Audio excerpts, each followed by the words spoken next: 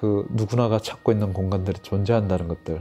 그 공간이 어떤 사람에는 안식일 수도 있고 휴식일 수도 있고 어떤 사람에는 희망일 수도 있고 어떤 사람에는 어떤 염원을 담을 수 있는 것들.